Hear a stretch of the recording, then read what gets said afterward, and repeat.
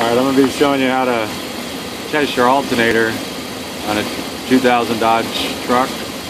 And I got the digital multimeter and I have it set to uh, volts DC. I have it on 20 on mine because we're going to want to read like 14 volts or so. And we set it on there. Just touch them. And it's reading 15.29. So that's about what it should be at. Should be at least 14 to, to 16. If it starts going up and over like 17 or more, then it's overcharging.